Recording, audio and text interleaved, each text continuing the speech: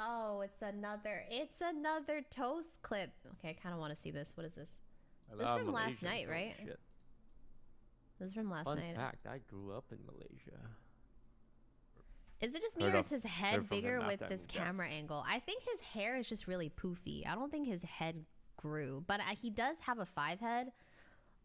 But actually, I was gonna say Toast looks extremely like chiseled in this angle.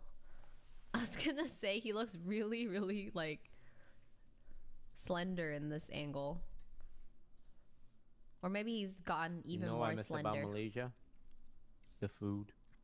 Really good food in Malaysia. that's yummy. That looks yummy.